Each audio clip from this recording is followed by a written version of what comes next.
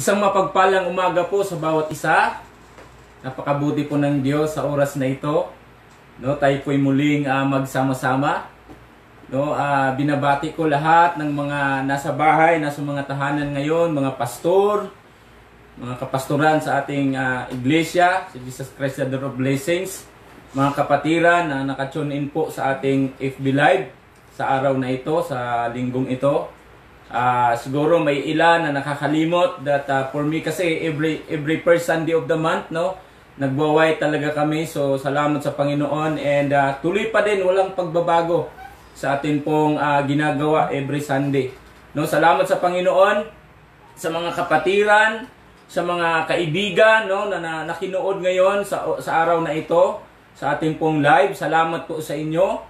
At ah, yung mga ah, hindi pa po nakahanda diyan, bilisan niyo po at ah, para sabay-sabay po tayong ah, magpupuri po sa ating Panginoon sa pamagitan po ng kanya pong mga salita sa araw na ito.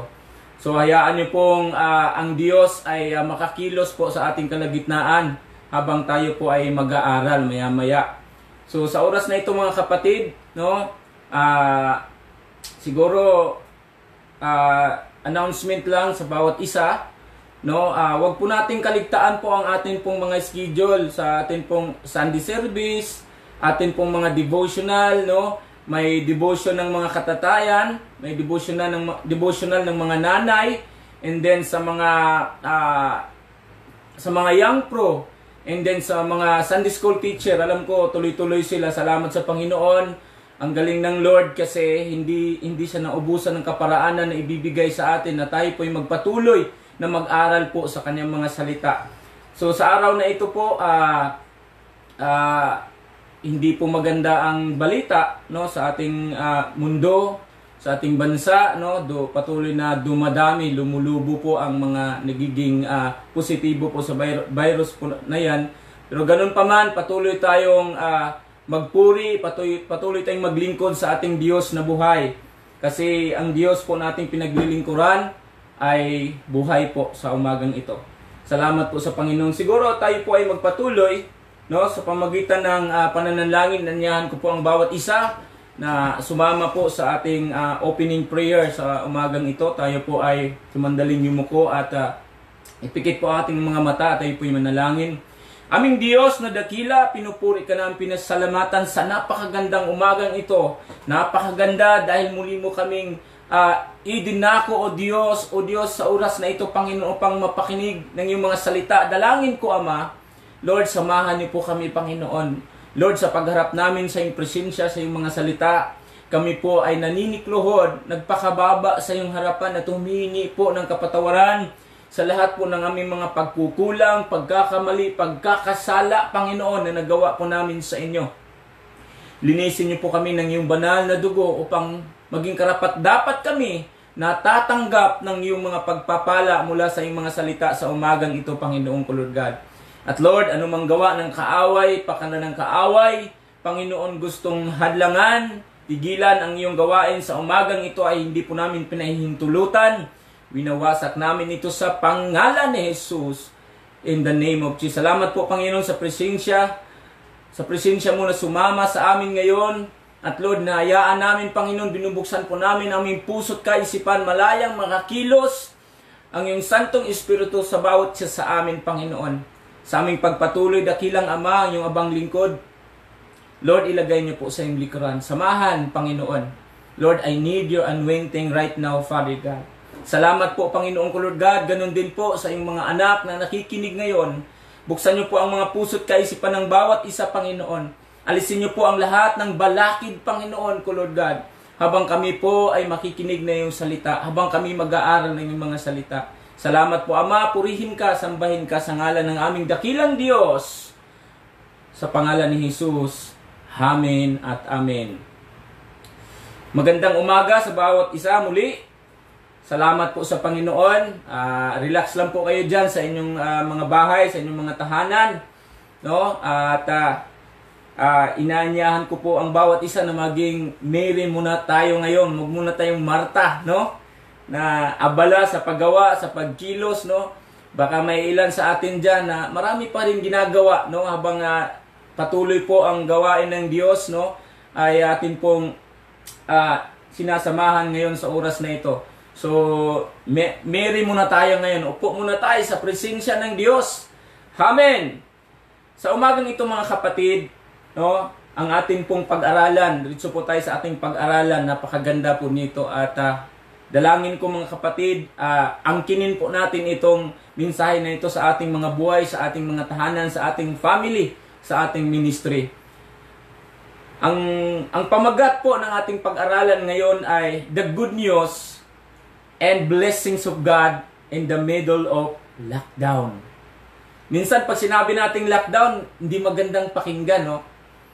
Pero sa baba, may makita tayong maliit dyan na na word, the beauty of lockdown. Napakaganda pala talaga. Mamaya makikita natin yung sinabi kong maganda dito at mga pagpapala makikita po natin maya-maya. So muli, relax lang po kayo.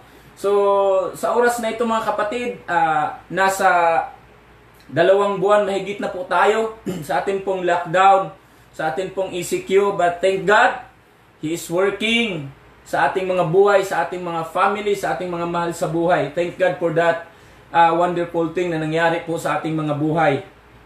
No?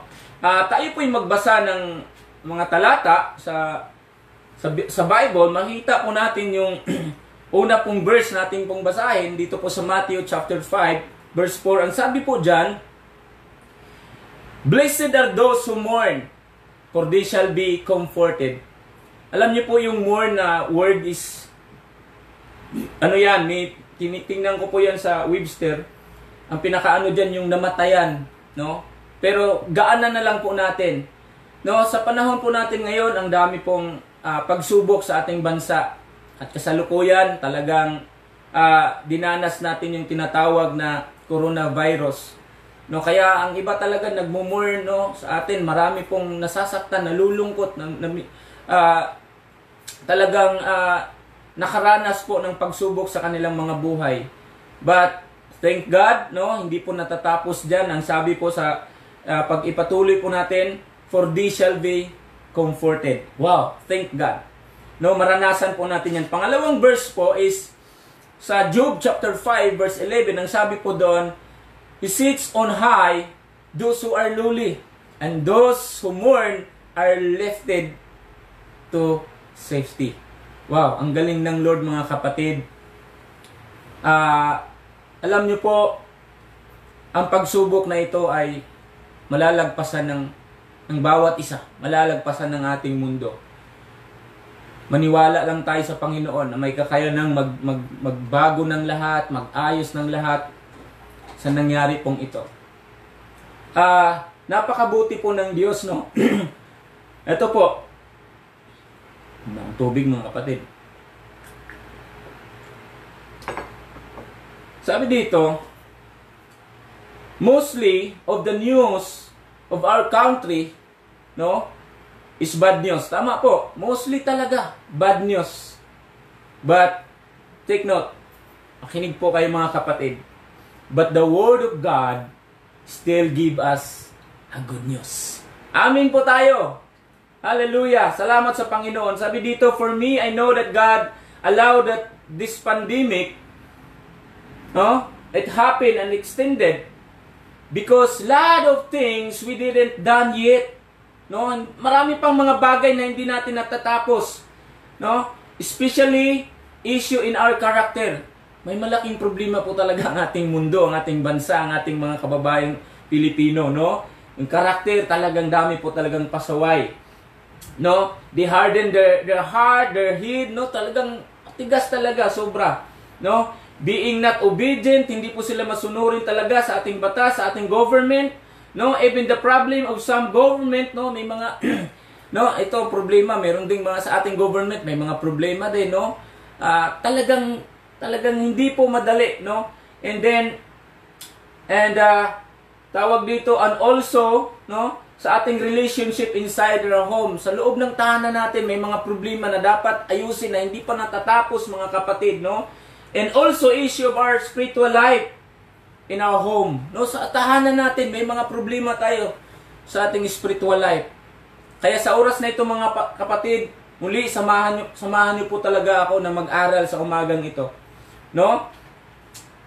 Ayan. Alam nyo ba na may tatlong bagay, no? May tat- tatlong uh, story in the Bible na similar po sa lockdown, no? Sige, una. Yung tinatawag na Garden of Eden. Alam niyo po ba na ang galing ng Lord? He locked it down everything the man and woman needs. No? Bago nilikha ng Diyos ang tao, no, at ang babae, ang lalaki at saka ang babae, God prepare everything. Sobrang halaman, prutas, vegetable, ang dami po, mga isda, ang dami na pong nandun lahat para sila po ay masatisfy. No, na dapat masatisfy sila. Kaso nga lang, no, si God ay naglagay siya ng uh, may isang tree doon na ipinagbabawal, no, na kainin. Ayan. Sabi dun sa Bible, uh, And the Lord God commanded the man, saying, You may surely eat of every tree in the garden. Yan. Pwedeng kainin lahat ang mga bunga, hindi yung tree mga kapatid ha, kasi delikado. Yung bunga po ng tree talaga. So ayan, yan po yung advice may napansin lang ako dito mga kapatid, naalala ko lang, nung sinabi pala to ng Panginoon, hindi pa nilikha ang babae. Ayan. No? Kaya makikita natin dito, si Adan lang muna ang sinabihan ng Panginoon. Eh sabi dito, uh, uh, tawag dito, nung nilikha na ang babae, no? Nalikha na yung babae, siya naman yung kinausap ng ng, ng ahas. Ayan. Kaya may problema dito, may napansin ako dito. Ang sabi lang ng Panginoon, thou shall not eat the fruit of the tree. Pero nung ang babae, yung statement ng babae, thou shall not eat the fruit of the tree and that is in the midst of the garden, eto, dinagdag ng babae, neither shall you touch it lest you die. So, may problema no? So, bilang tatay, bilang husband, dapat i-inform natin ang ating family, lahat, ating anak, para hindi magka-problema. Pangalawa, na similar po sa lockdown, no? Stories in the Bible similar with lockdown is the Ark of Noah. No? Ang galing po ng Lord. Nung nung okay ng lahat, sabi ng Panginoon, lock mo na yung pintuan. And God locked it down everything also. No? sa Ark of Noah. Andun na yung pagkain nila. Andun na lahat. No? Sobrang tagal nila doon. Pero ni minsan wala ka pong makita doon sa book na yan na nagutom sila. Amen? So ibig sabihin, ganun kagaling si Lord. Sa buhay ng kanyang mga anak, He locked it down everything that we need. Grabe, ang galing talaga ng Panginoon. Hanggang sa matapos yung yung baha na yon, no? Ah, sa kanilang pangangailangan, hindi po sila nagkulang. Galing ng Lord. Pangatlo po, the stories, the story in the Bible, similar lockdown is yung tinatawag pong uh, yung binigyan po ng Panginoon ng instruction si si Moses at saka Aaron na lagyan ng ng ng ng blood ng animal yung dalawang doorpost and then yung lintels yung sa taas. So sinunod po ng Panginoon 'yon, no? Uh, ng mga tao, ng mga ng mga Israelita. No? Kasi dadaan siya. Kasi papatayin yung mga panganay doon sa lugar na yun. At napakabuti ng Diyos, no? Bago ginawa niya ang lahat, may, may ma-instruction, may command na dapat sundin. Kaya, ang nangyari, no? Uh, safe po lahat, no? Lahat ng sinabihan po ng Panginoon, uh, ginamit po ang buhay ni Moses sa ni Aaron. Yun po ang makikita natin similar po sa lockdown. At ang gustong gusto ko doon, yung God lock it down everything that we need. And sure ako sa mga anak ng Diyos ngayon, uh, wala pa naman akong narinig na walang kinain sa isang araw. Tatlong bis, di ba, sa isang araw. Na hindi nakakain. Thank God. Wala pa akong narinig. Napakabuti talaga ng Diyos. So punta tayo sa good news, no? And little bad news sa atin pong nangyayari sa bansa po natin. Una po, in our surround, surroundings, kung saan ka nakatira, no, barangay, communities, uh, cities, buong mundo, buong Pilipinas, makikita po natin, ito yung bad news. Some held cup fight noon, may sabong talaga. May nahuhuling nagiinuman, no? Nag, nagsusugal. Yun talaga ang bad news, no? Grabe na talagang pagsisika, pag-iisip ng nagpagpaplano ng ating government, yan namang mga pasaway, tuloy-tuloy pa ding pasaway. Number two is, uh, some official didn't follow the rules and regulation. Meron talagang hindi sumusunod. Di, parang sinabi nilang hindi patas yung pag, pag uh, treat no, sa mga kababayan natin. Number three, some didn't wear face mask no, outside. Pag lumabas, hindi naka-wear ng face mask. Kaya pasaway talaga mga kapatid. No? At uh, uh, may nakita lang ako yung iba hinuhuli agad, no? Pinapagalitan agad pero may na, may nakikita din ako mga kapatid na mga frontliners na pag nakikita nila na walang face mask, binibigyan nila, binibilhan nila nakakatats. Dapat ganun din naman minsan mga kapatid, ha? And then, uh, okay, some didn't receive relief goods or monetary assistance. Meron talagang hindi po nakatanggap. Taas kamay, ayan, taas kamay mga kapatid. Ah, uh, sa amin, glory to God, wala pa pong dumating, bata. Uh, thank God, no? Medyo lumalaki, lumalaki na. And then number five, some are driving without any quarantine pass. May nagda-drive talaga na walang quarantine. By the way, ako, nagda-drive ako, pero dito lang ako sa Pasig, hindi pa ako lumalabas. Pero ngayon, uh, salamat sa Panginoon, meron na po akong, anong tawag doon, uh, yung bagong ano, uh, na parang pass PLP.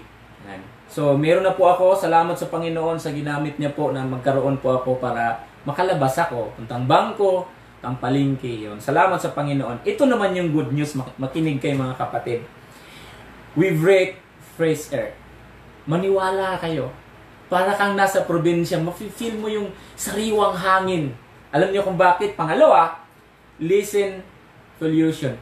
Grabe po, pag lumabas ka, bilang lang yung mga sasakyan, ibig sabihin, nalilisin yung, yung usok. No? Hindi masyadong mausok. Number three, traffic. Yan, hindi masyado, wala, parang wala, walang traffic. Titigil lang sila sa stoplight, pero pag tuloy-tuloy na, wala pong ganun. And the number four, uh, listen road, road rage. No? Dati daming nag, nag-away sa, sa gitna ng kalsada, nag-aaway. Ngayon, Wow, thank God. Maganda talagang ginawa ng lockdown na to. Listen accident. Yan. Alam niyo mga kapatid, sa sobrang daming sasakyan, doon daming pasaway, kaya ang dami ding nadidisgrasya. Number six, listen smokers. Wow, hinuhuli po ngayon yung mga nigrilyo sa labas. Pambira, no? Dapat ganun. And listen drugs user. Walang pambili eh. ng mga bawal na gamot. Kaya, salamat sa Panginoon. Sa atin pong surroundings yan, ito naman, sa atin, sa, sa mga tahanan po natin, sa loob ng tahanan. Ano naman yung mga bad news, no? Na maririnig natin, makikita natin ng mga angal. Ito po, staying in the staying inside the house is too hot. Sobrang init po. Kaya minsan di natin mabiblin yung mga tao na nagre-react. Lalabas ako kasi sobrang init. Magkasakit ako. Yung mga ganun. So, uh, I really thank God no, nasa lugar kami na sobrang lawa, nasa taas pa, nakakalanghap po talaga ako ng fresh air dito. Kaya salamat sa Panginoon. And then number two, not enough food to eat, no? Ah, kulang talaga, no? Daming nagrereklamo kasi talagang kulang po ng pagkain. Example, bibigyan ka ng limang kilong bigas. Eh, eh, isang dosina kayo sa loob ng tahanan. Ilang araw lang yon di ba? So, ayan yung mga reklamo. Bad news niyan sa kanila. Some weight gain, tumataba. Yan, problema nila yan, no? Hindi makontrol, walang ginagawa. Ayan lang, mala- malapit sa kusina, kaya maraming naubos na pagkain. Number four, some are getting bored. Nabuboard na talaga sila. No, ano na lang ginagawa? Nako, iwan ko, di maintindihan. May na may namimingwit na doon sa loob ng bahay, no? Nagpalipad ng saranggula sa loob ng bahay. Some of the children are complaining with their meals, no? Eto, ah, Umaga, tanghali, hapunan, sabi nila sardinas na lang daw lang. Grabe, magpasalamat na lang guys sa Lord. Pero wala tayong magawa, magko-complain talaga yung mga kabataan or kahit matanda nga. Number six, most of most of the men can go to barber shop. Ako, umahaba na po yung buko kasi wala po talagang gupit, taga-gupit sa akin. No, wala po dito. Ayan, uh, walang bukas na barber shop kaya humaba ng mga buhok nila. Okay lang sa mga babae, mga lalaki, ayaw nila. Ang good news naman, sa loob ng tahanan, makinig kay mga kapatid. For some, gaining weight is beneficial para sa kanila eh. Lalo na yung nangarap na medyo lalaki. Ayan, ayan yung pagkakataon. Kain ng kain, tumataba. Ayan, samahan ng exercise ha. Number two, their skin are getting paler. So, wow. Yung nangangarap na medyo mag, uh, mag-lighting skin, yan. Ako yun, ako yun. Mga kapatid, yung gusto, nangarap din naman ako. No? Ah, alam nyo, Kojik dyan, mura lang. Number three is restored bonding with family. Kapatid, napakahalaga po nito, magulang. Gawin po natin to bonding. Isipin nyo, nasa mall kayo. Yung bahay nyo, isipin nyo, nasa labas kayo, pero nasa loob lang kayo ng bahay, nagbabanding kayo. Anong meron doon? Pag-usapan. Kaya dami yung pag-usapan. Number four, discipline by the government. Wow.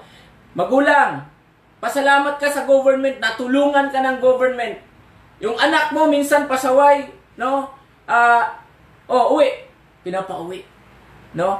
Mga kapatid, ba't ko sinabi to? Kabuuan lang to, hindi lang to sa church. Sabihin niyo to sa inyong mga kap- kaibigan na napaka-importante nito, napaka halaga nito. Number five, no? Right time to reconcile, restore relationship. Napakahalaga pala talaga nito.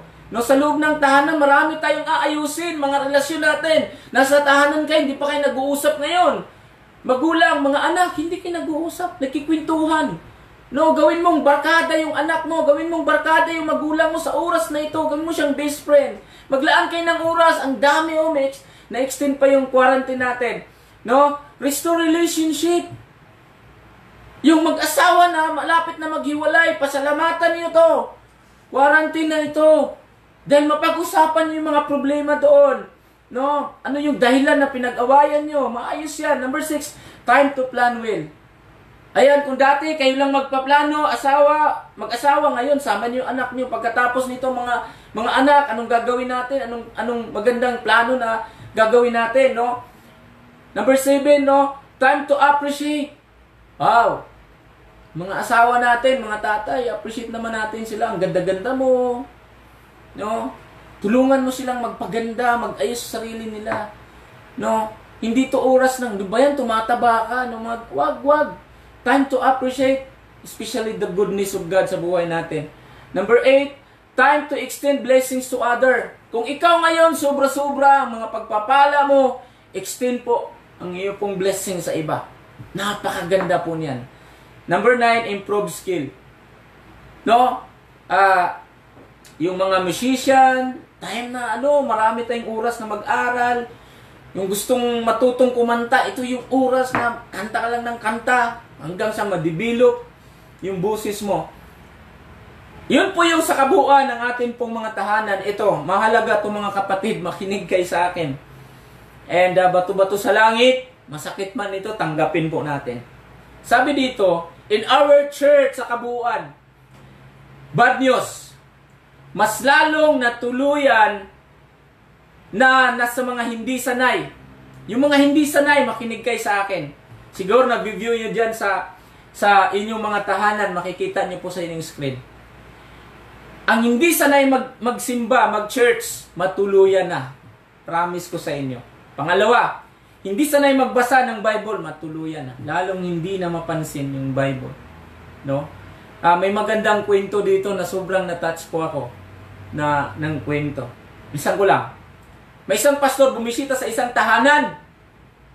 And then, yung tahanan na yun, naghanda ng, ng, ng masarap na pagkain.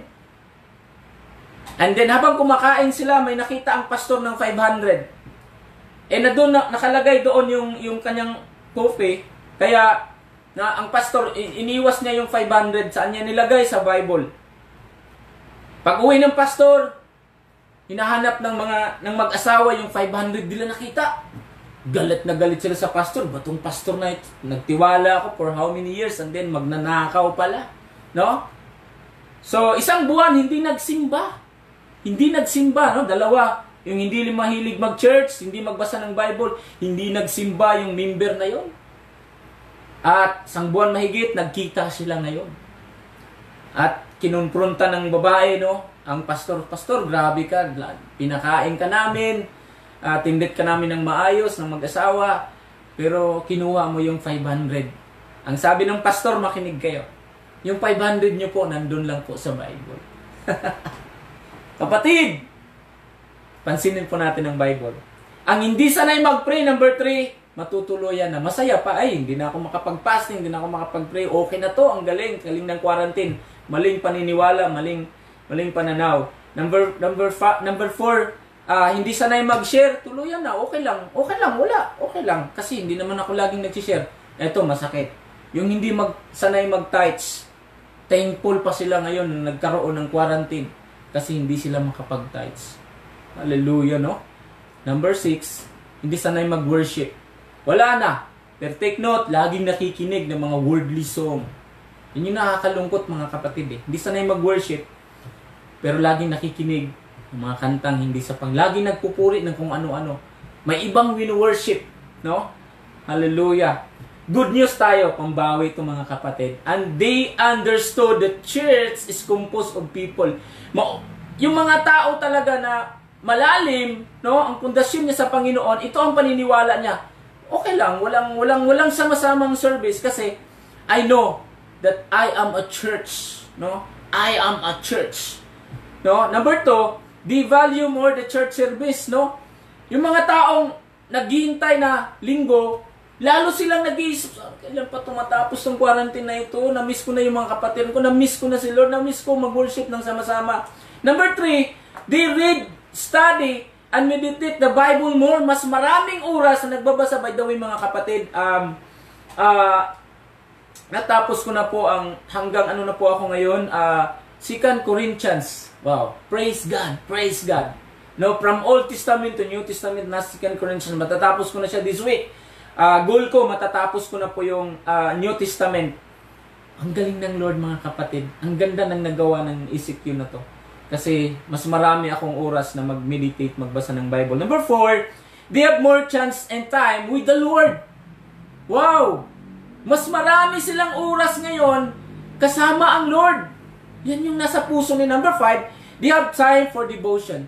Devotion, ito yung oras na napakaganda talaga eh. Maunawaan po natin yung devotion, napakaganda po nito mga kapatid. Talagang ang dami mong magawa kapag ka marami kang oras. They miss so much their brethren in Christ. Sobrang nami-miss. Mga kapatid, sobrang nami-miss ko na po kayo. sobrang uh, talagang parang parang ilang taon na tayong hindi nagkita. Sobrang nami-miss ko na po kayo. So salamat sa Panginoon sa mga bagay. Tandaan po natin 'yon. Nakikita niyo naman po siguro diyan. Huwag niyo pong kaligtaan, no? At sa mga medyo medyo masakit para sa atin, bawi po tayo. No? habang buhay, ah, habang may buhay tayo, may pag-asa. May pag-asa tayo mga kapatid. Ako, na, nagsumi, nagsumika pa din ako. Ano yung mga bagay na hindi ko pa nagawa. Sa harapan ng Diyos talagang nagsumika pa ako. Sama-sama tayong magsumikap. No, na gawin yung mga gawin yung kalooban ng Lord sa ating mga buhay. Amen. And then ah uh, sabi dito yung sa church kanina hindi ko nabanggit yung verse, no? They valued more the church service ito, not neglecting to meet together as the habit of some, but encouraging one another and all the more and all the more as you see the day drawing drawing near. So, pahalaga natin ako, sobrang namimiss ko yung mga kapatid, kapatiran, no? Sa San Pedro po, sobrang namiss ko sila sa sa sa Napico, sobrang namiss. Alam mo yung Iba talaga, iba ang mga kapatid na nasa Panginoon. Promise ko po sa inyo, namimiss ko. Lahat-lahat po ng mga kapatid na namimiss ko na po sila. Gusto, na, gusto ko na sila makita lahat. But thank God, no, may service tayo na ganito. Tuloy po tayo mga kapatid. Kanina, no, sa, sa atin pong topic is uh, uh, good, the good news and the blessings of God in the middle of no, lockdown. No? Inuna muna natin yung good news, no? Dahil mahalaga yun eh. Mahalag, sobrang halaga yun. Habang nandoon tayo sa tahanan, ah, maganda pala talaga. Pero ito, itong mga bagay na ito na patuloy natin pag-aralan, the blessings in the midst of lockdown. Kaya dapat ma makita niyo yung maliit doon sa title po natin yung The Beauty of Lockdown. Sobrang napakaganda. Sobrang pagkatapos nito mga kapatid, pasalamatan mo talaga si Lord na may lockdown din. No? Pasalamatan mo talaga ang Panginoon. Ah, Bago ko po yan ah, pag, bago natin pag-usapan yung the blessings of lockdown, maniwala kayo sa akin. Ah, this pandemic allow God. Inalaw po ito ng Panginoon. Sabi ng, ah, may nakita kasi akong verse sa Ezekiel. Sabi sa Ezekiel, no, God allow also uh, pestilence in our country. Alam yung word na pestilence, no? Yan po yung virus. Yan po yung pandemic. Sabi ng Ezekiel chapter 14 verse 21, no? Ah, sabi dito, ah, tingnan muna natin sa Webster. Ang sabi doon sa pestilence is ah, a contagious or infection, no? Ah, infectious epidemic disease. Yan, kita po natin epidemic disease that is uh, uh, virulent and devastating. Mga kapatid, ang dami pong namamatay. Bago po bago ko po buksan tong uh, the blessings in the midst of lockdown. Mga kapatid, uh, sa mga kapatiran, sa aming mga kaibigan, paalala ko po sa inyo.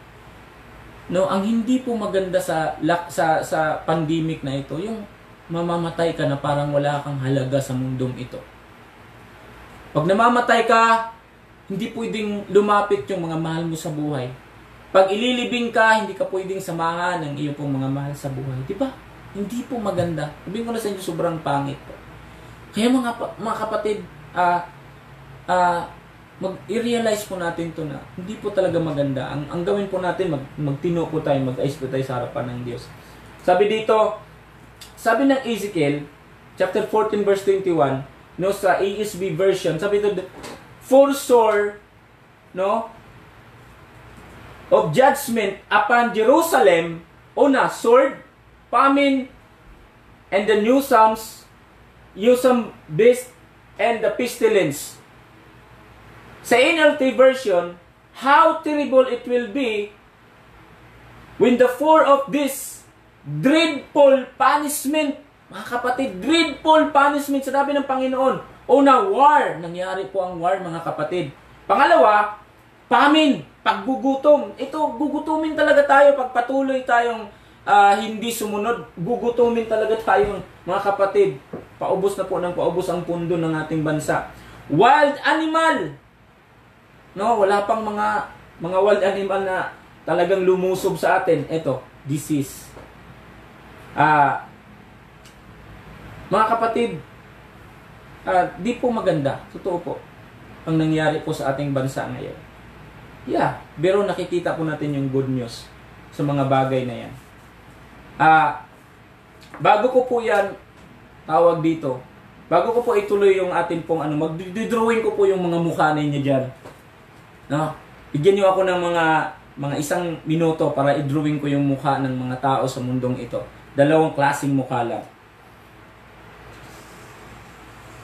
Ayan. Drawing ko yung mukha ng mga lalaki at babae na sa mga tahanan. Bidam yung mga kapatid, nakuha ko lang to. Ang ganda kasi. Relate na relate ako dito ngayon.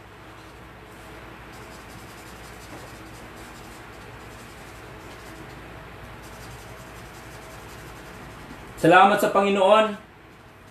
Yan, relax lang kayo dyan sa inyong mga tahanan. At yung mga nauna nating pinag-usapan, dapat tatanggap na natin sa ating mga puso. May drawing po ako mga kapatid bago ko po ituloy itong ating blessings in the midst of the lockdown. Excited na akong ipakita itong aking ano. O ito mga kapatid, anong mukha sa katabi mo ngayon o ikaw sa mga oras na ito sa makikita mong dinruin ko po. Ayan. Ayan. Ano yan? Masaya. Malungkot. Ayan. Malungkot, masaya. Ito yung mga taong galit na galit. Nagrereklamo. Pero yung mga taong nasa Panginoon, ganito siya. Yan o. Ang saya niya. Sabi ko nga, Lord, hindi ako nakatanggap lagi ng, ng relief goods. Hindi ako nakatanggap pa, hindi, hindi pa nakatanggap ng SAP. Pero may Diyos ako eh. Kaya ito yung mukha ko. Kaya niyo po mga kapatid. No? Masaya. Dapat ganito tayo mga kapatid. Thankful tayo, grateful tayo sa ating mga buhay. Grateful ka pa ba? No? Kung iba dyan, nakatanggap lagi, huwag ka mainggit. Alam mo, anong pasalamatan mo? No? Hindi ka na virusan. Hindi ka nagka-virus, hindi ka naging positibo sa virus. Dapat ganito yung mukha natin mga kapatid. At lalong magiging ganito ang mukha mo kapag magpatuloy pa tayo sa ating pong pag-aaral. Okay. Ayan. Tingnan tayo. The blessings in the midst of lockdown. Una, we experience God's goodness. Wow, mga kapatid. Alam mo yung God's goodness? Sinsya na sa mga hindi pa po nakakanta ng I love you, Lord. For your mercy never failed me. Ang ganda noon. Ang ganda nung kantang yun. Talagang nung una kong narinig yun, no, umiyak po ako. Totoo po kasi talaga yung kantang yun. Yung mensahe na yun, totoo yun. No? Yung goodness ng Lord sa mga buhay natin. Alam kung bakit? Ito makikita natin, when we see God's goodness, yung faithfulness nandun eh. Mabuti talaga si Lord. Eh. Tapat talaga si Lord kailanman. No, sabi sa Bible, sa Bible, no, manatili siyang tapat kahit hindi tayo tapat. Yung goodness niya manatili kahit hindi tayo good. No? Napakabuti talaga ng Diyos. Sabi sa uh, actually ano to mga kapatid, but Proverbs. Ah, uh, sampo ito, no? Sa sampo 'yan, no? Ay, may sam pala, may sam din pala. Okay. Uh, unahin natin yung sa Psalm. Ang sabi sa Psalms, chapter 23 verse 6, sabi doon, ah, uh, okay. One thing I ask of the Lord that I may seek after, that I may dwell in the house of the Lord all the days of my life, to gaze upon the beauty of the Lord and to inquire His temple. Ito yung, ito yung, ito yung gagawin natin.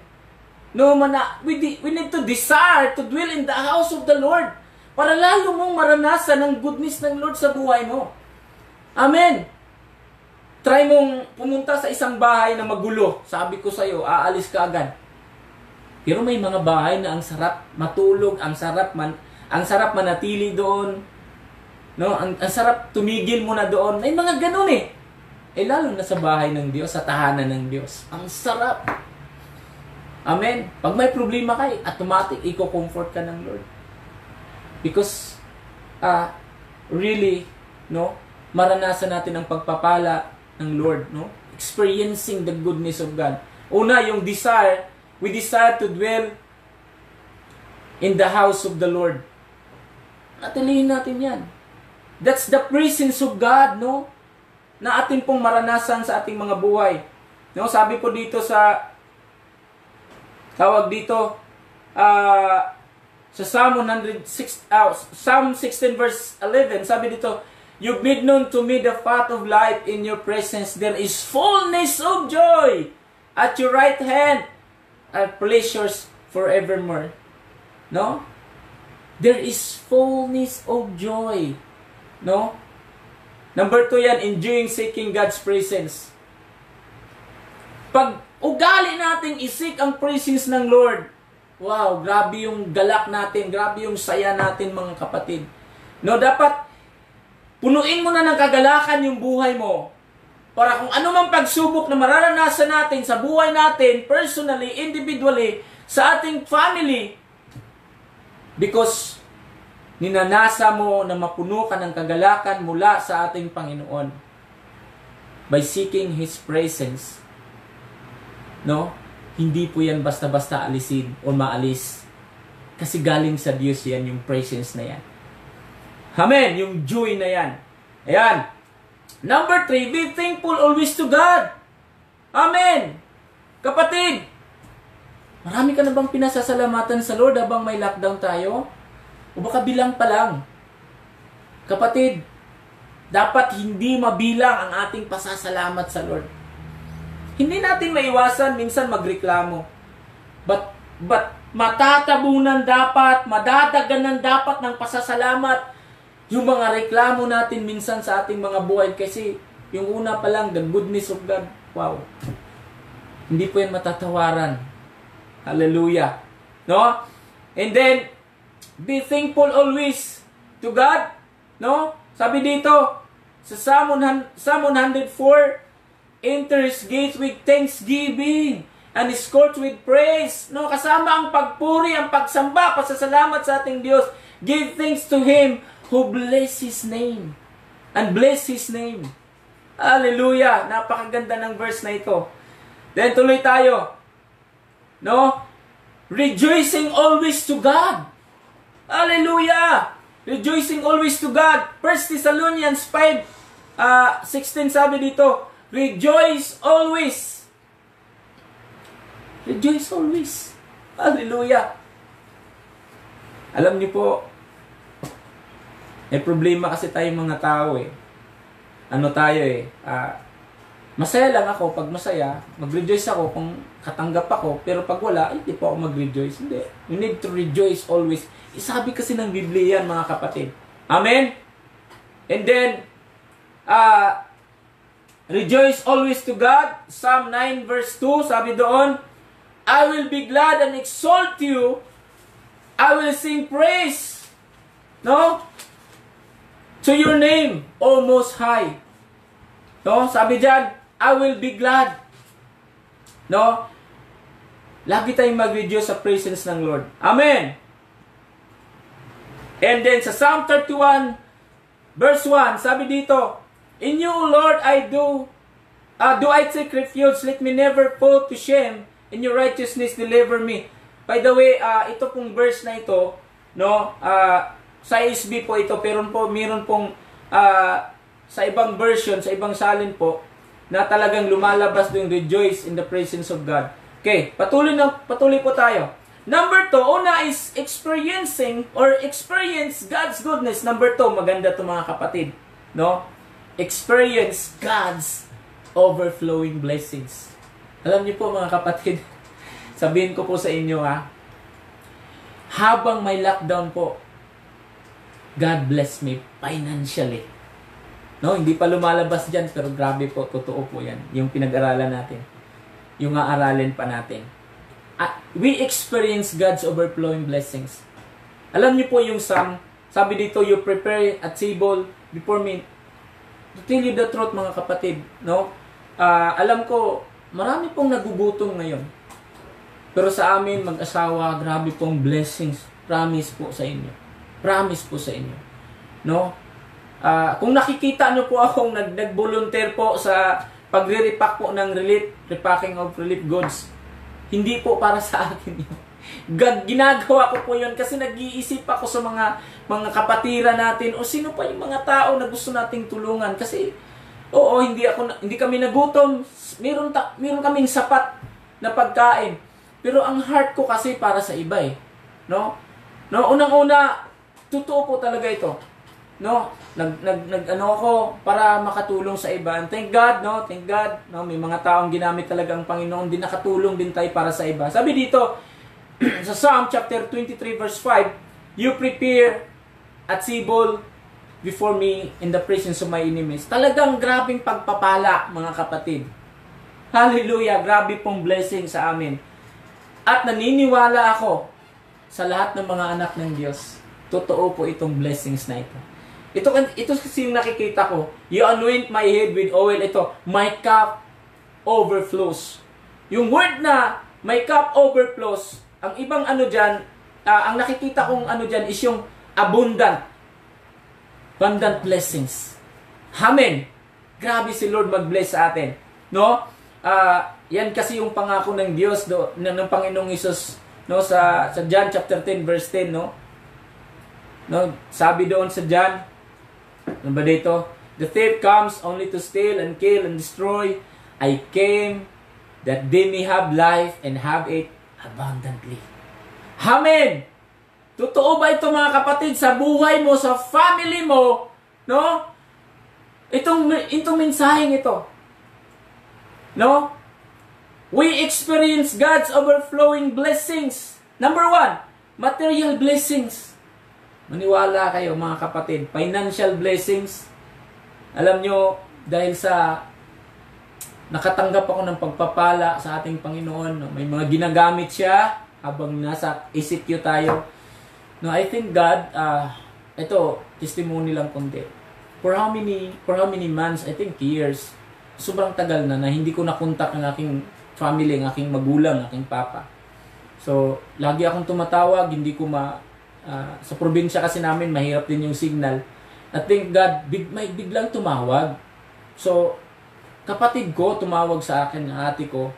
So, grabe ang saya ko mga kapatid. Alam kung bakit? Yung natanggap ko po kasi, nilalaan ko doon.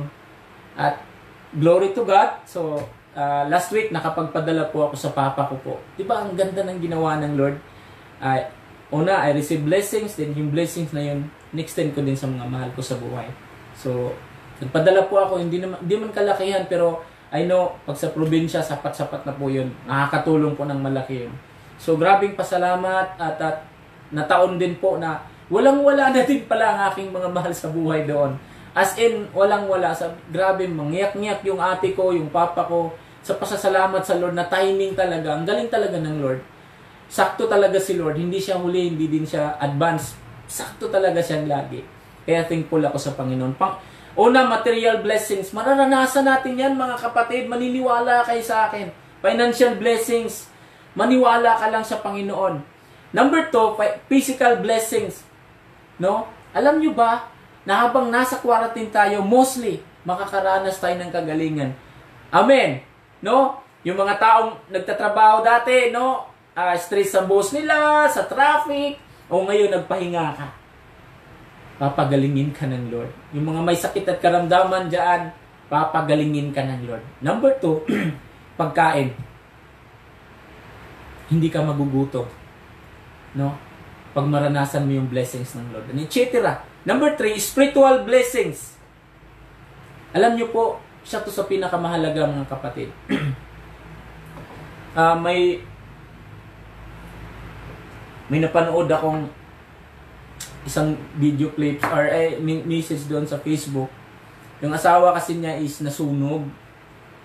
Eh, ang gwapo-gwapo nung lalaki talaga. Kamukha ko. Eh, salamat sa Panginoon. No?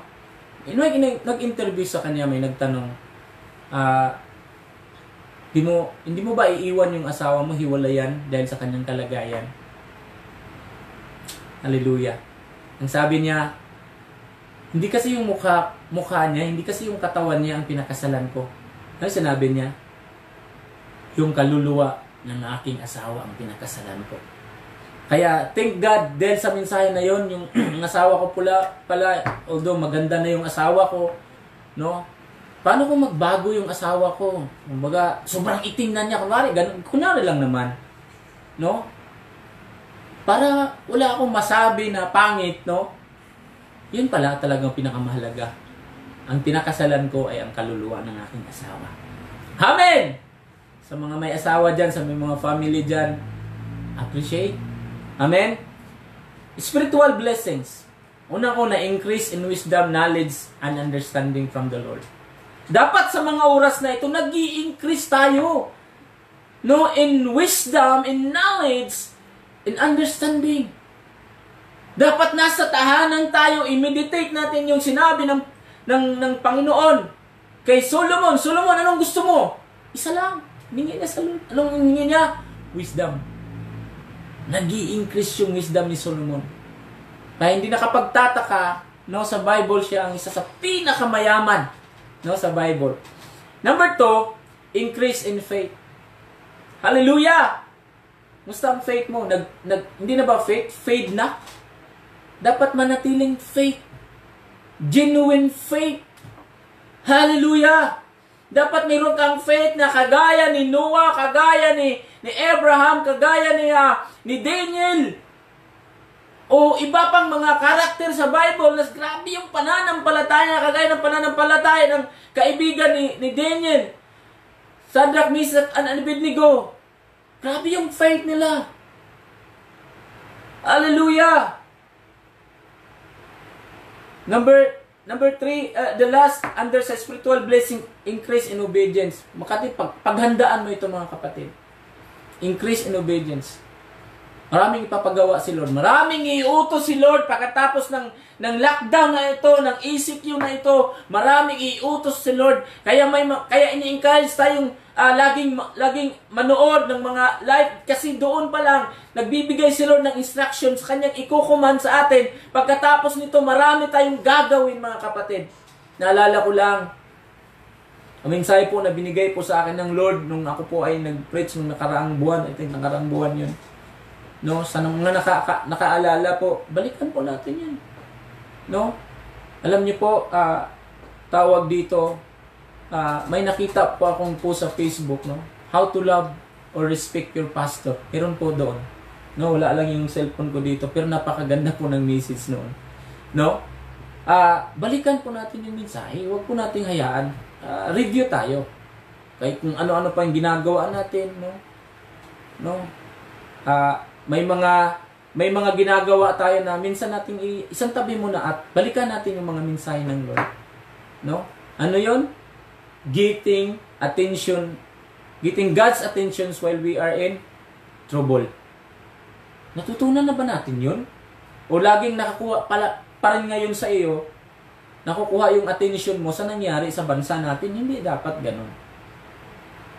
Kunin natin yung attention ng Lord. May gagawin talaga tayo na si Lord, lagi nakatingin sa iyo, na, nakikita ka niya lagi, napapansin ka niya, kasi may ginagawa ka na si Lord natutuwa. Amen? Getting God's attention. No? Hindi malaming ipapagawa si Lord. The last one, no? Una is the value, uh, uh, experiencing God's goodness. Number two, experiencing God's overflowing blessings. The last one is experiencing being valued by God. Ito isa sa pinakamahalaga mga kapatid. Maraming tao ngayon na parang hindi na mahalaga yung buhay nila. Wala nang halaga yung buhay nila. Ba't makinig ka kapatid? Ngatan mo yung buhay mo. Mahalin mo yung buhay mo. Kasi may unang nagpahalaga niyan. May unang nagmahal niyan. At nung sinabi, sinabi ng Panginoon na uh, For God so loved the world that He gave His only begotten Son, action po yun, buhay po yun. Hindi po yun sinabi lang, may gawa po yun na totoong gawa talaga. Hindi lang niya ibinigay ng ganun-ganun na lang kanyang anak. Namatay po yung sa krus ng Kalbaryo, mga kapatid. No? At sabi dito sa Matthew, uh, Matthew chapter 6 verse 26, sabi do, Look at the birds of the air. They neither sow nor reap nor gather into barns.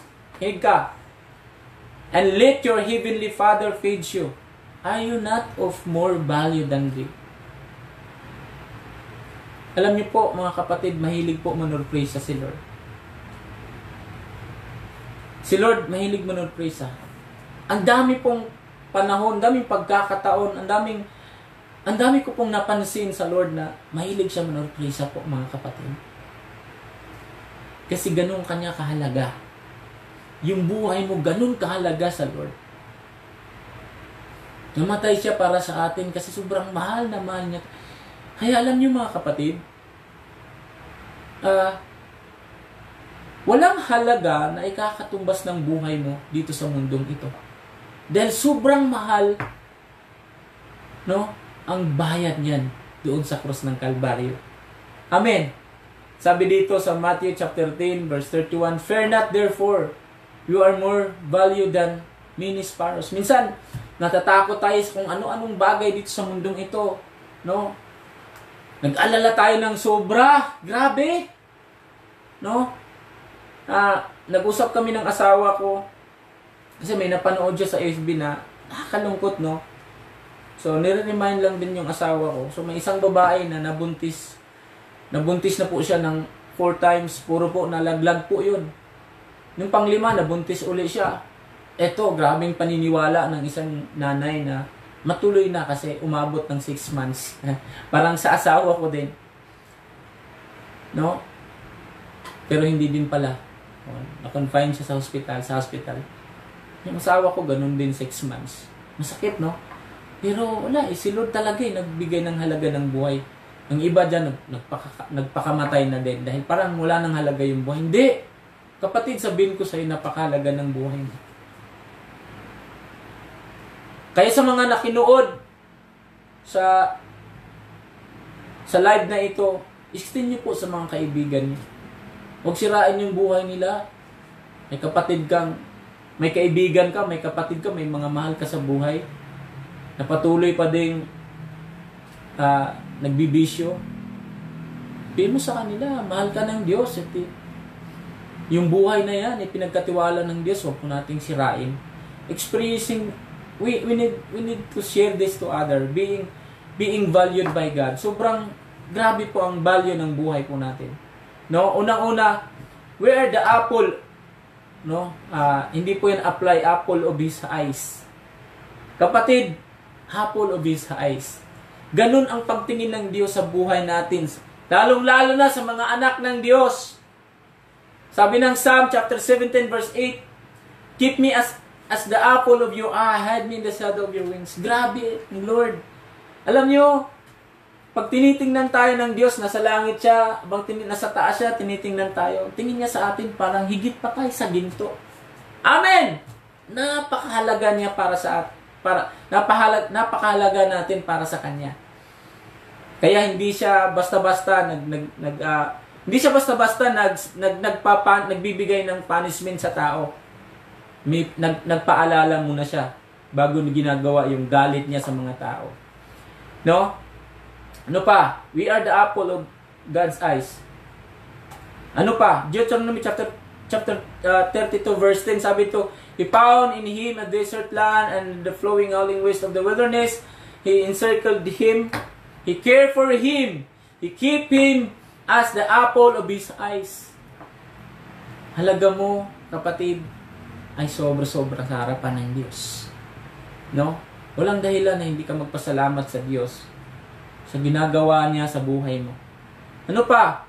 No, under experiencing experience being valued by by God, we are special for God. Sobrang special tayo sa ng, sa ating Panginoon.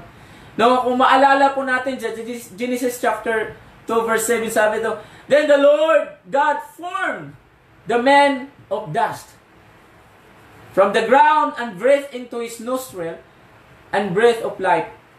The breath of life and the man became a living creature. Kapatid, yung word na form, hindi po, hindi po yun basta-basta. Amen. Hindi po yun basta-basta. Hindi kagaya nung nilikha ng Diyos ang langit at lupa, mga, ka, mga hayop, no? Yung, yung tubig, yung ilaw, yung buwan, sinabi lang niya. At nangyari, kapatid, ikaw, ako, no? Nagla, nag, nagbibigay ng effort si Lord. Amen. No, God formed the man of the dust. May ginawa siya. Hallelujah. Pinaghirapan ka ng Diyos. Hallelujah. Kaya ito, itong verse na ito, sinagot to ni, ni David. No? Alam nyo, hindi ko lang nalagay dito sa, sa, sa, sa PowerPoint ko po. Sabi ni David sa Psalm 100, uh, 39 verse 14. Sabi doon, no? Kung mahabol pa natin, no? Sabi doon, Bible. Ayan, pwede ba nating ma malagay pa diyan, mahabol natin? Grabe. Grabing pasasalamat, no? Ng isang taong ito, no? Kung bakit binigyan siya ng buhay ng Diyos, no? Ayan. Try natin. 139. I praise God. Sabi ni David. Wow! Gusto ko lang itong basahin mga kapatid. Kasi dapat ganun tayo mga kapatid. Lagi tayong nagpapasalamat sa Lord. Para malilis or maalis po yung laging nagre-reklamo. Lagi tayong nagre-reklamo sa harapan ng Diyos. No, sabi dito, No? I praise you because you are you are the you are to be fair all ay ito to saan dito wala kumakita sabi dito I praise you because you are to be feared all you do is strange and wonderful I know I know it with all my heart no Ito magandang version. Ha, makikita niyo po dyan. I praise you, Lord. Lagyan ko ng Lord. For I am fearfully and wonderfully made. Ganun dapat tayo mga kapatid. Kasi pinaghirapan tayo ng Diyos. No? At hindi natatapos doon sa paglikha. No, alam nyo, binigay niya si Jesus sa atin. Namatay doon sa krus ng Kalbaryo. Amen! No? Ano pa? We are special for God. Number three, we are redeemed by the blood of Jesus. Kapatid, sobrang mahal mo. Sobrang mahal ng buhay mo. Na ginawa ng paraan ng Diyos amang nasa langit para hindi mapahamak hindi magkaroon ng buhay na walang hanggan. Sabi dito sa Galatians chapter 3 verse 13, Christ redeemed us from all the curse of the law by becoming a curse for us. For it is written, Curse is everyone who is hung on a tree. Yung, yung word na Christ redeemed us. Amen. Tinubos tayo mga kapatid. Hallelujah. Meron pa sa Luke chapter 1 verse 68, Blessed be the Lord God of Israel. Sabi dito, Blessed be the Lord God of Israel. For He has visited and redeemed His people. Visited and redeemed His people. Meron pa, Titus 2.14, Who gave Himself for us to redeem us from all lawlessness and to purify for Himself a people for his own position or ze- zealous or good works, for good works. Kapatid, niredeem tayo ng blood ni Jesus. Walang dahilan na hindi po natin pasalamatan ang Lord. Number four, under praising valued by God. We are loved by God. Hindi tayo kaibig-ibig, promise. Ako, hindi ako kaibig-ibig. Pero grabe. Nung narinig ko po itong word na to, lalo akong nagkaroon ng confident na uh, magtiwala sa Kanya, magpasalamat lagi, magpuri sa Kanya. He called us His beloved. I remember the song, I'm your beloved, your creation. Diba ang sarap nun? Sabi dito sa Jeremiah chapter 31 verse 3, The Lord appeared to him from, from, from far away. I have loved you with an everlasting love everlasting love, hindi matatapos kailanman yung pag-ibig ng Diyos sa atin. No? Therefore, I have continued my faithfulness to you. Tuloy tayo, tuloy tayo sa ating katapatan sa ating Diyos. Maging tapat tayo sa ating Diyos kasi mahal tayo ng Diyos. Amen? So mga kapatid, tandaan po natin itong mga bagay na ito. From the start, yung simula natin, sinimula natin. At lalong-lalo na itong the blessings of, in the midst of lockdown.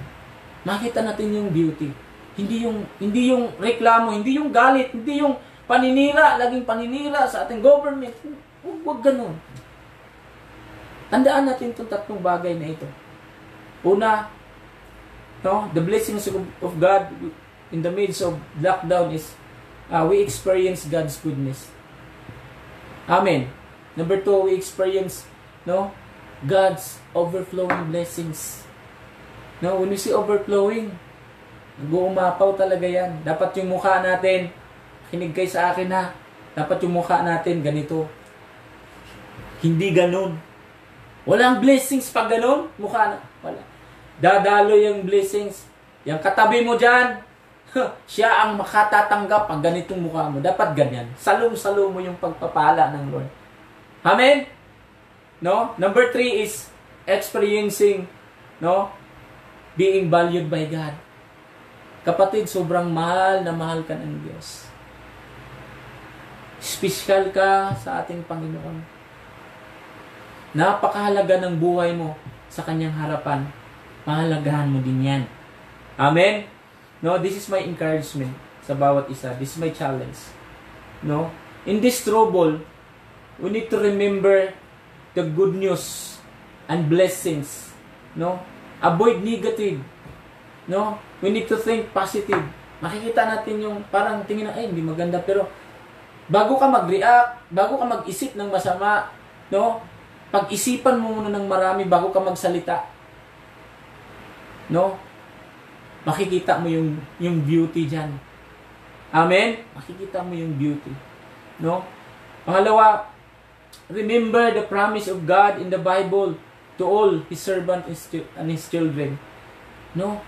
Kaya, kaya ini-encourage namin kayo ng bawat isa na, na magbasa, mag-aral, mag-devotion. Kasi dami pong pangako ng Diyos sa bawat isang mananampalataya, bawat mga anak ng Diyos.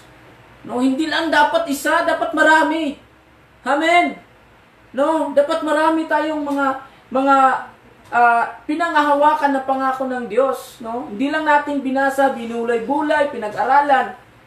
Hindi lang bigyan natin ng halaga yung promise ng Diyos kasi totoo po 'yan. Number three, remember always the goodness of God. No, huwag tayong magreklamo. Laging si Lord, titingnan po natin yung kabutihan ng Diyos sa ating mga buhay. No? At yung overflowing blessings of God. No? Yung, yung hindi ka lang nagkasakit, that's the, the, the blessings of God. Sa isang taon. Alam niyo po, grabe po ang, ito nakakalungkot isipin, ang daming pasaway. Alam niyo po ba na, ang laki pala ng gastos ng, ng ano na yan, ng virus na yan. O sa mga hindi pa nakakaalam, yung ex-senator po natin dito, magkano yung gastos sa, namatay na, namatay, namatay din siya, 8 million. Meron ka bang ganyan? Meron ka bang ganun sa buhay mo? No, yung iba nga wala nang pagkain, 8 million pa. Kapatid, no, goodness of God, lagi natin i-remember. Yung blessings ng Lord. Last one is yung yung yung kanyang ano, pag-value sa atin, yung pagpapahalaga niya sa atin. No? Ano yung response natin? Di mag-ingat tayo. Ingatan natin yung buhay natin. Minahal pala to ng Lord. Ingatan natin. Mahalin natin to. No? Ah, uh, last one is yung tinatawag na kung narinig natin to ngayon, maganda sa pandinig mo. Tingin mo, nakakat, makakatulong sa eh, personally. At makakatulong din sa mga tao, mga mahal sa Share mo. Share mo tong mensahe na to. No? Share this to your loved ones, relatives, friends, no, and other people na may pag-asa. At ang pag-asa na yan walang iba sa ating Panginoong Hesus lang. Mga kapatid, salamat po sa Panginoon sa oras na ito. Salamat po sa paglalaan po ng oras. At nawa sa oras na ito makabuluhan ang buong araw mo dahil ikaw ay nakikinig ng salita ng Diyos. Mahal na mahal tayo ng Panginoon. At lagi po nating titingnan ang mga pagpapala ng Diyos sa ating mga buhay. At pag nakita po natin yan, lagi po tayong magpapasalamat sa ating Diyos. Amen? Salamat po sa Panginoon no sa ating pong pagtatapos no ulit ang ating pong uh, mensahe sa araw na ito na ibinigay po ng Diyos about you sa atin is the good news and blessings of God in the middle of lockdown. Start to say the beauty of lockdown, mga kapatid. Amen? Salamat sa Panginoon. Nyayahan ko po ang bawat isa na yumuko po sa oras na ito at ikit po natin ang ating mga mata at tayo po ay sumandaling manalangin. Aming Diyos, salamat po sa umagang ito. Sa iyo pong mensahe na ipinagkaloob mo sa bawat siya sa amin. Ang dalangin ko, dakilang Ama, unang-una o Diyos, ang salita mo ay magministeryo sa aming mga puso, sa aming mga buhay, sa, sa buong iglesia mo, Panginoon. At magministeryo, Father God. Hallelujah. Sa mga nakapanood ng mensaheng ito, Panginoon. At Lord, hayaan mo, Panginoon, matanggap namin ang pagpapala mo mula sa iyong mga salita sa umagang ito. At ang dalangin namin, Panginoon ko, Lord God, silyuhan niyo po ang mensaheng ito na mariritin po sa aming mga puso't kaisipan dakilang Diyos. Father God, tulungan mong bawat isa, Panginoon, na laging bumawi, Panginoon. May mga bagay kaming hindi pa nagagawa sa iyo. Ito yung pagkakataon, Panginoon, na hipuin mo ang bawat puso ng iyong mga lingkod na gawin yung mga bagay na ikalulugod sa iyong harapan. Maramdaman nila bilang mga anak mo, Panginoon, No, kagaya ng, ng sumunod ang iyong anak na si Jesus sa inyong mga inuutos sa Kanya, ang sabi mo, Panginoon, This is my son, my beloved son, whom I am pleased. Lord, dapat ginagawa namin, Lord God, sa aming mga buhay, ang mga bagay na ikalulugod, ikatutuwa ng iyong mga mata, Panginoon. Tulungan mo ang bawat isa dakilang. Lord, salamat po talaga ng marami sa umagang ito. Patuloy niyong pagpalain ang buhay ng iyong mga lingkod. Lord, I declare blessings upon blessings, Lord. Lord, supernatural blessings, Lord God, sa bawat mga anak mo, Panginoon. Supernatural of release, Lord God, sa iyong mga anak, Panginoon ko, Lord God. I declare it, I decree in the name of Jesus. Healing comes, financial breakthrough comes, in the name of Jesus. Lord, pagpalain mo ang buhay ng iyong mga lingkod. Pagpalain mo ang bawat family. Pagpalain mo ang mga ministry ng iyong mga anak, O Diyos, sa oras na ito. Salamat dakilang Ama sa iyong pangingi alam sa bawat buhay. Ang iyong Santong Espiritu, Panginoon, ay hinahayaan po namin mangialam sa aming mga buhay. Malayang kumilos sa aming mga puso't kaisipan sa buong buhay namin, Panginoon, ng iyong Santong Espiritu sa oras na ito, Panginoon. At Lord, anumang gawa ng kaaway, pakanan ng kaaway, sa oras na ito, hindi po namin binibigyan ng pagkakataon sa pangalan ni Jesus na mangialam, manggulo sa bawat buhay ng iyong mga anak. Panginoon, salamat po ng marami dakilang Diyos. Hallelujah, Jesus. Lord, lubos, uh, patuloy ka namin kilalanin sa aming mga buhay. Lord, Lord, kailangan maipakilala ka namin sa mundong ito, Panginoong Isus, na isang tagapagligtas. Hallelujah, Jesus. Tulungan mo kami, Panginoon. Patuloy mong ihanda ang aming mga buhay, dakilang Diyos. Sa mga bagay, Panginoon, na ipagagawa mo sa amin araw-araw at lalong-lalo na sa pagkatapos, Panginoon, ng lockdown na ito. Father God, in the name of Jesus, I also pray, Father God, for all the frontliners, Father God. Bless them. Ingatan mo ang mga taong ito, Panginoon. Ang mga doktor, ang mga nurse, Lord God, ang mga kapulisan, ang mga sundalo, ang mga volunteers, ang mga LGO, Father God. Ang aming government, Lord, pagpalain mo, tulungan mo, dakilang Diyos. Lord, I declare protection, Father God, sa buhay ng mga taong ito, Panginoon. Salamat! Salamat sa kanilang mga buhay, Panginoon.